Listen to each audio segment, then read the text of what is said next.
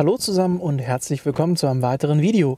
Ich möchte euch heute den ähm, S6 vorstellen, den ich mir gekauft habe. So, das hier hatte ich ja bereits schon mal auf Instagram gepostet. Ähm, ja, die Innenansicht des Fahrzeugs. Er hat hier ganz klassisch, weil das ein Fahrzeug aus 2007 ist, ein meiner äh, Meinung nach wunderschönes analoges ähm, Display bzw. eine analoge Tachoeinheit. Ich kann jetzt hier einmal Zündung einschalten. Da sehen wir auch, ähm, wir haben ein kleines äh, Digitalelement hier in der Mitte, wo man sich verschiedene Informationen einblenden lassen kann. Äh, Durchschnittsverbrauch, äh, aktueller Radiosender und so weiter. Da bin ich noch nicht voll durchgestiegen, was da alles geht. Dann haben wir eine Wassertemperaturanzeige. Wir haben hier die Verstellung für unser Licht. Was ich noch nicht gefunden habe, ist eine Öltemperaturanzeige. Da habe ich aber gesehen oder mich schon ein bisschen schlau gemacht, das kann man scheinbar ähm, codieren in dem Kombi-Instrument. Da muss ich mal schauen. Dann das Lenkrad, äh, wie ihr sehen könnt, das hat schon ein wenig gelitten. Das ist einfach der Fahrleistung geschuldet. Das Fahrzeug hat jetzt, ähm, wie man hier sehen kann, 146.000 Kilometer runter. Das ist wie gesagt ein S6 mit V10-Motor. Ähm, soweit ich weiß, ist das äh, baugleicher Motor, der auch im Lamborghini verbaut wurde. Wir haben hier ähm, einen, Moment, kann ich das einfangen? Oh, schwierig. Äh, von hier oben vielleicht. Äh, da kann man so ganz leicht erahnen, da ist nochmal ein ähm, entsprechender Hebel für die Verstellung. Und zwar haben wir hier Abstandsregelassistent mit dabei. Wir haben äh, Memory-Sitze ähm, hier mit dabei. Wir haben elektrisch äh, anklappbare oder ausklappbare ähm, ja, Seitenspiegel. Wir haben Seitenspiegelheizung. Wir haben hier in der Mitte so ein äh, Digitalelement. Äh, man hat hier nochmal Knöpfe, wo ich noch nicht hundertprozentig weiß, für was die da sind. Wir haben wunderschön, ganz klassisch ein Zündschloss, in dem wir den Zündschlüssel verstauen können. Finde ich super. Das geht mir bei den modernen Autos total auf die Nerven, dass man keine Möglichkeit mehr hat, den Zündschlüssel irgendwo gut unterzubringen. Zumindest bei den BMWs, die ich gefahren bin, nicht. Dann, das ist ganz witzig. Das ist die Entriegelung äh, für, die, ähm, für das Handschuhfach auf der Beifahrerseite. Da ist auch, ähm, weiß nicht, ob man das erkennen kann, ganz dunkel hinten drin ist auch ein CD-Spieler oder Navigation, das muss ich alles noch rauskriegen. Dann haben wir hier entsprechendes ähm, ja, Carbon.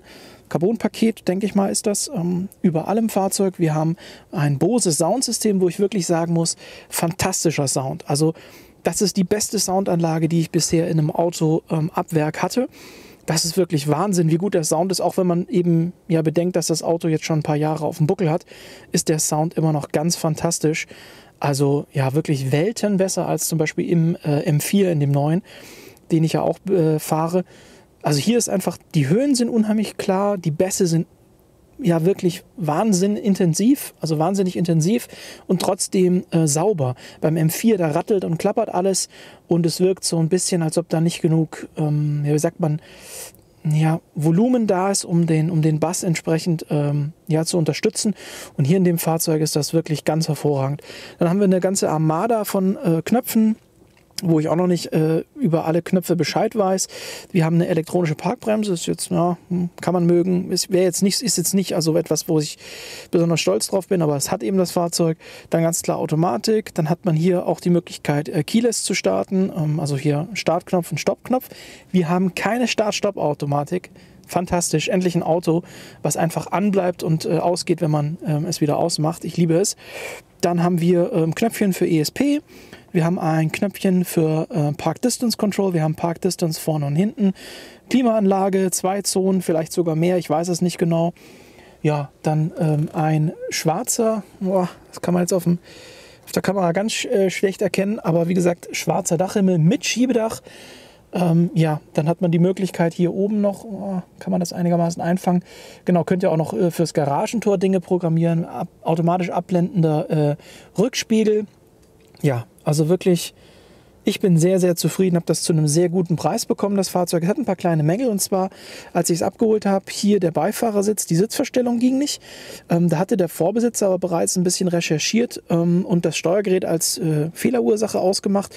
Ich habe dann ein neues Steuergerät besorgt ähm, vom Verwerter, habe bei der Abholung das Steuergerät schon mal reingesteckt, das waren nur zwei Stecker und dann ging auch die Sitzverstellung wieder. Das Einzige, was jetzt noch ist, ich habe noch einen Fehler ähm, im Steuergerät drin wegen Memory-Sitzen. Das liegt da wahrscheinlich da daran, ich habe mich da ein bisschen schlau gemacht. Scheinbar gibt es so eine Art Bauteileschutz bei VW, der verhindern soll, dass man geklaute Bauteile einfach einbauen kann. Sprich, ich muss das Bauteil wahrscheinlich noch kodieren lassen bei Audi damit das eben zu dem Fahrzeug wieder gehört, beziehungsweise für das Fahrzeug erkannt wird. Aber die Sitzverstellung geht schon wieder, das ist super. Da mache ich euch auch noch mal ein extra Video, da habe ich schon ein extra Video abgedreht, denn die geht jetzt bereits. Die war, wie gesagt, am Anfang kaputt. Die geht jetzt bereits, ich habe das bereits alles verbaut und da gibt es auch ein Video dazu, wie ihr den Sitz demontieren könnt und äh, wo das Steuergerät sitzt und so weiter und so fort. Genau, ähm, ja, Kilometerlaufleistung habe ich euch gezeigt. Wie gesagt, ähm, Kleinigkeiten sind noch zu tun, zum Beispiel hier da ist die ähm, ja, Verkleidung vom, vom Rückspiegel äh, ist weg. Das sieht man auch hier. Da muss ich mir noch eine neue Verkleidung besorgen. Ähm, für den Schaltknauf, der sieht auch sehr abgenutzt aus, ähnlich wie das Lenkrad. Da habe ich mir schon einen neuen bestellt. Lenkrad habe ich mir auch schon ein neues bestellt. Das wird noch kommen. Ähm, ja, genau. Hätte ich gesagt, das war es erstmal aus dem Innenraum, beziehungsweise was man vielleicht auch noch erwähnen kann, ich weiß auch nicht, ob man es auf dem Video sieht, von außen sehen wir es dann wahrscheinlich gleich, die Scheibe ist so leicht getönt. Wir haben ich schiebe euch mal nach hinten, so elektrisch beheizte äh, Seitenscheiben, das habe ich auch noch nie gesehen. Wir haben diese schönen äh, RS-Sitze, aber das zeige ich euch jetzt gleich, wenn wir uns das Auto von außen mal ein bisschen angucken. Deswegen, jetzt geht es nach draußen. So, wir sehen jetzt das Fahrzeug äh, in Teilen von außen. Ähm, wir haben hier, wie ich gerade eben erwähnt habe, diese sehr schönen äh, zumindest wie ich finde, sehr schönen RS-Sitze mit drin. Die muss ich natürlich jetzt noch ordentlich sauber machen. Ich war jetzt nur einmal in der Waschstraße. Wir haben hier, wie gesagt, Schiebedach. Das ist tatsächlich auch beheizt. Von hier außen, ich weiß nicht, ob man es auf der Kamera gut erkennen kann. Ähm, ich versuche mal die Belichtung ein wenig anzupassen. Äh, ja, schwierig. Also wir haben hier auch so eine leicht abgedunkelte äh, Frontscheibe. Äh, Alufelgen sind Nachrüstfelgen. Neue Reifen habe ich auch schon bestellt, weil die total alt sind und hart. Ähm, dann bremsanlagenmäßig weiß ich jetzt ehrlich gesagt gar nicht, ob das ähm, sozusagen eine kleine ist oder eine große oder ob es da auch eine gab mit einem Festsattel, weil das hier ist ja, ähm, ja so ein bisschen, das sieht so ein bisschen nach, nach ja, also ich mag die immer nicht so, sagen wir es so. Ich bin kein Freund von diesen Bremsanlagen, die keinen geschlossenen Korpus haben. Da gibt es auch irgendeinen Fachbegriff dafür, der fällt mir jetzt nicht ein. Wenn das jemand weiß, ob es da auch eine andere Bremsanlage mit geschlossenem Korpus dafür gab, lasst mich das gerne wissen. Da würde ich mich interessieren für. Dann, wie gesagt, so silberne Außenspiegel, dieses silberne Dachreling was jetzt, wie gesagt, noch gemacht werden muss, ich habe jetzt nur einmal grob durchgesaugt. Man sieht auch hier äh, im Fußraum, das sieht jetzt nicht so mega geil aus. Da muss ich noch mal ran. Die Sitze, wie gesagt, die werde ich schön mit äh, Lederreiniger, also wirklich Reiniger. Ich bin kein Freund davon, von diesen Kombiprodukten. Ich werde die also erst mit Lederreiniger behandeln, dass die richtig sauber sind. Und dann erst die Lederpflege. Dann sehen wir hier in der Türinnenseite, das ist alles schmutzig und schmodderig. Äh, das muss ich sauber machen. Genau, ähm, ja, sauber machen. Dann, wie gesagt, diese, diese kleine Sache hier oben am Innenspiegel, diese, diese Abdeckklappe, die muss ich noch äh, reparieren. Ansonsten hat das Fahrzeug ähm, noch hinten einen kleinen Mangel. Die äh, Heckklappe ist elektrisch und die will nicht so richtig. Ich versuche euch das jetzt mal zu demonstrieren. So, gehen wir mal hier an die Heckklappe ran. Ja, und jetzt seht ihr, jetzt hat der Motor kurz gearbeitet, geht aber nicht auf. Probiere ich das nochmal. Ne, auch nicht. Jetzt geht's. Okay, perfekt, sie geht auf. So. Und dann sehen wir schon, ich habe hier schon ein paar Putzutensilien reingepackt. Hier hinten, das ist natürlich auch noch ordentlich dreckig. Das muss ich alles noch sauber machen. Wir haben hier so eine Reling, mit der man auch was verankern kann, wenn man was transportiert. Hier hinten äh, sind auch noch mal riesige Batterie an Steuergeräten. Aber wie gesagt, abgesehen von der Sitzverstellung und der Heckklappe funktioniert soweit eigentlich alles. Wie gesagt, das sind jetzt alles Dinge. Hier ist auch noch total schmudderig und schmodderig. Das muss ich machen. Hierfür habe ich schon äh, Motoren bestellt. Da gibt es so auch wieder aus dem, aus dem Verwerterhandel habe ich mir da sozusagen Motoren bestellt. Dann sollte das eigentlich wieder funktionieren. Es sollte an den Motoren liegen. Zusätzlich habe ich mir aber auch noch äh, neue Dämpfer besorgt, denn wenn ich da jetzt rangehe, mache ich Dämpfer und Motoren neu. Genau, Tankklappe ist irgendwie auf, wahrscheinlich bei der Waschstraße aufgegangen. Also wie gesagt, an und für sich finde ich das echt ein schönes Auto. Das ist das erste praktische Auto, was ich besitze. Ansonsten waren es ja immer nur so tiefe Coupés, wo man nichts mit transportieren konnte. Und jetzt habe ich einmal ein praktisches Auto. Für vorne, da hatte ich noch ein kleines Problem mit dem Kurzzeitkennzeichen. Ähm, die Park-Distance-Sensoren, die sind relativ eng. Ich zeige euch das einmal, Moment. So wie wir sehen können, sind die Park-Distance-Sensoren hier relativ nah. Ich hoffe, das geht jetzt einigermaßen mit dem Wind. Relativ nah an dem Stoß, äh, an dem Kennzeichenhalter. Ich habe aber Gott sei Dank auf der Zulassungsstelle, da war eine ganz freundliche Dame, ein etwas kürzeres Kennzeichen bekommen. 460 statt 520 mm und damit passt das wunderbar und dann piept auch das äh, PDC nicht die ganze Zeit. Das war so ein bisschen ein Problem am Anfang. Genau, und das eben auf äh, beiden Seiten. Ne? Hier auch. Und da, wie gesagt, das kürzere Nummernschild, das macht sich da super. Hier, denke ich, kann man jetzt nochmal ganz gut sehen, diese getönte Frontscheibe, die ich wirklich sehr schön finde. Das ist ab Werk so, also kein Tuning-Scheiß. Äh, getönte Seitenscheiben, auch alles ab Werk. Also das sieht schon echt klasse aus. Ähm, die ganze Seitenlinie finde ich sehr, sehr schön.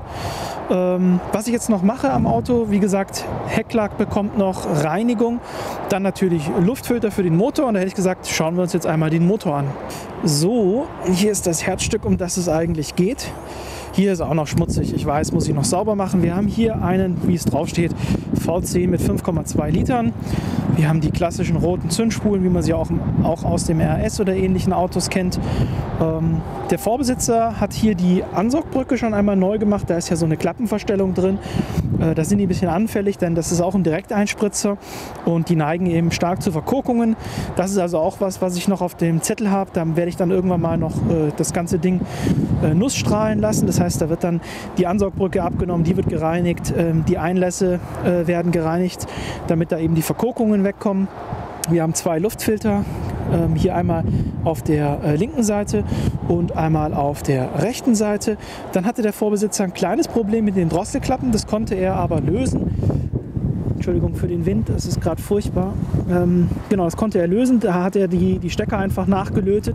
Ich habe jetzt auch keine Motorkontrolllampe bekommen. Die werde ich natürlich noch ein bisschen, man sieht das jetzt hier, da sind auch noch diese Schnellverbinder zu sehen oh, dieser Wind, sind auch noch die Schnellverbinder zu sehen. Das werde ich alles äh, schön mit entsprechendem ähm, ja, Kfz-Klebeband, das hatte ich ja schon mal ein paar Mal bei mir gezeigt in den Videos, ähm, ja, entsprechend ummanteln. Dann hier oben werde ich alles sauber machen. Da unten drunter sieht man auch ein paar Kabel. Da muss ich auch mal aufräumen. Äh, neue Scheibenwischer sind bestellt, so Kleinigkeiten. Und ich werde diese Woche auch noch neue Reifen bekommen, weil die ja wie gesagt runter sind. Plus ich werde noch das äh, Getriebeöl wechseln mit Filter. Äh, da mache ich euch dann auch ein kleines Video dazu. Da ist äh, ein, guter, ein guter Freund von mir, hat ja eine Werkstatt und der ist so nett und äh, hat sich angeboten, dass wir da den Getriebeölwechsel machen können. Das ist super, denn dann fühlt man sich einfach besser. Der Vorbesitzer hat hier schon Ölwechsel gemacht, habe ich auch kontrolliert, da ist frisches Öl drin. Ich fahre den jetzt noch ein paar hundert Kilometer und dann mache ich nochmal einen Ölwechsel, denn das Auto ist auch ein bisschen gestanden und da werde ich am Anfang, so sage ich mal, alle 1000 bis 2000 Kilometer jetzt einen Ölwechsel machen, um da einfach insgesamt äh, das Ganze wieder ein bisschen sauber zu bekommen. Ja, viel mehr gibt es aktuell nicht zu dem Auto zu sagen.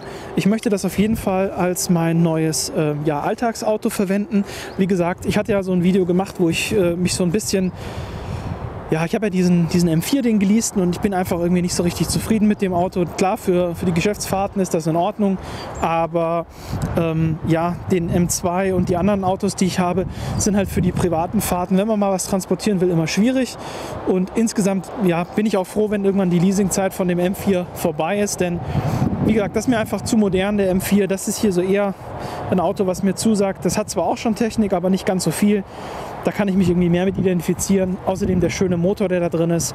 Ja, das, ich glaube, da werde ich ganz viel Spaß haben, solange die Technik funktioniert. Aber das hoffe ich jetzt einfach mal. Genau, dann hatte ich ja vorher einmal kurz angeteasert. Ähm, hier diese Außen- äh, die Seitenscheiben mit eben auch beheizt. Das Schiebedach ist übrigens auch beheizt, so wie es aussieht. Also echt verrückt, äh, was da dieses Auto alles schon hat, obwohl das so alt ist. Wie gesagt, jetzt kommt auch noch das Video mit der, mit der Sitzverstellung, wie ich die repariere.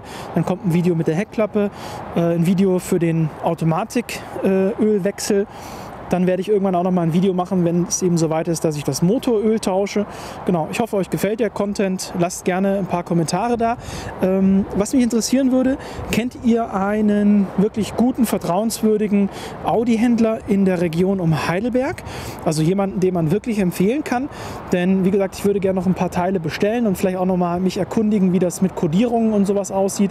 Aber ich möchte halt gerne eine Werkstatt, der man wirklich vertrauen kann, die nicht rumfuscht, die sauber arbeitet Ähm, ja, wenn da jemand Erfahrungen hat in der Region Heidelberg, lasst mich das gerne in den Kommentaren wissen oder über Instagram. Das würde mich, äh, würd mich sehr freuen.